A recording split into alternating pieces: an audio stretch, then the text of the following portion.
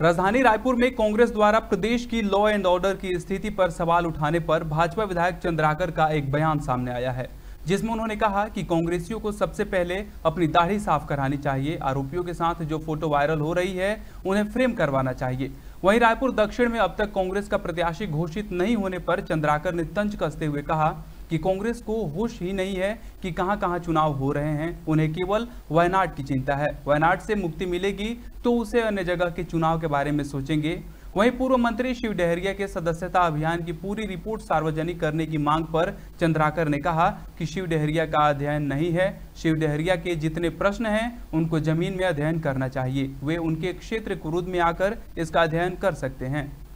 मैंने अभी उत्तर दिया आपको कि वायनाड सीट से लेकर रायपुर दक्षिण तक बीच में दो राज्य, भारतीय जनता पार्टी उसी गंभीरता से लड़ती है जैसे कोई भी चुनाव को लड़ती है। और इसलिए जो श्रेष्ठ लोग हैं, जो चुनाव की दृष्टि से उनकी ड्यूटी लगाई गई है।